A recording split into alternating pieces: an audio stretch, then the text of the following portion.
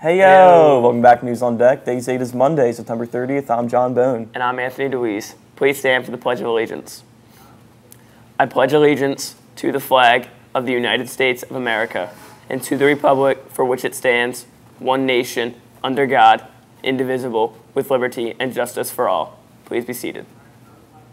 Attention all middle school students. The middle school fall dance will be Friday, October 11th. The cost is $8 in advance or $10 at the door.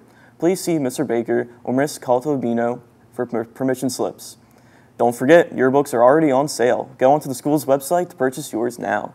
If you buy them early, you get a lower price, so act now. Now to Anthony with more school announcements.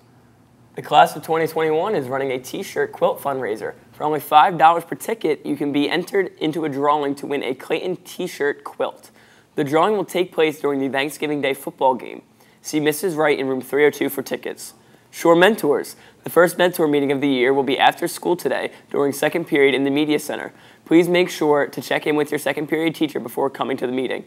Now back to John with today's lunch sports. Lunch for today is pizza crunchers with a side of peas and carrots, along with an assortment of fresh, fresh veggies, fruit, and milk or juice.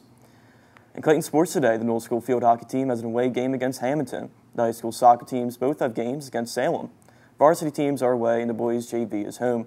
All games are at 4 o'clock. Good luck, Clippers. That's all for News on Deck. Have a good one. See ya.